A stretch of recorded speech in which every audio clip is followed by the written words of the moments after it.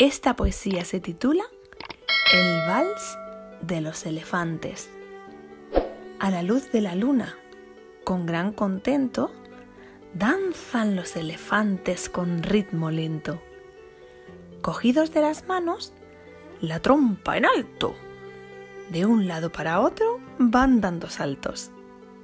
Moviendo las orejas se balancean y agitando el trasero se bambolean. Y cuando ya la luna se difumina, paran los elefantes y el vals se termina. Esta poesía se llama La niña y la luna.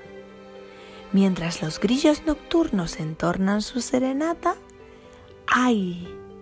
Hoy la luna se pasea con su transparente bata, salpicada de luceros y mil estrellas de plata.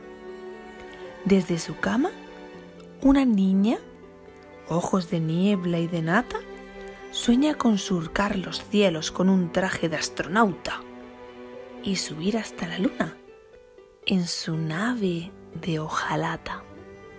El cuento de los corderos. Es una poesía. Voy a contarte el cuento de los corderos que contaba al dormirse un jardinero. Uno a uno pasaban los corderitos y saltaban la valla dando saltitos.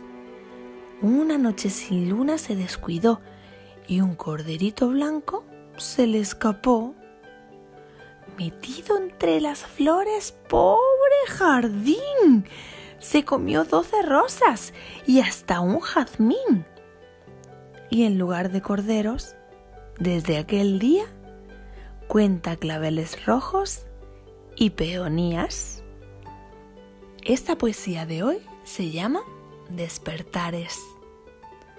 Despierta, niño, despierta, que el alba recién nacida está llamando a tu puerta. Abre, niño, ya los ojos, que el sol viene con urgencias y está abriendo los cerrojos.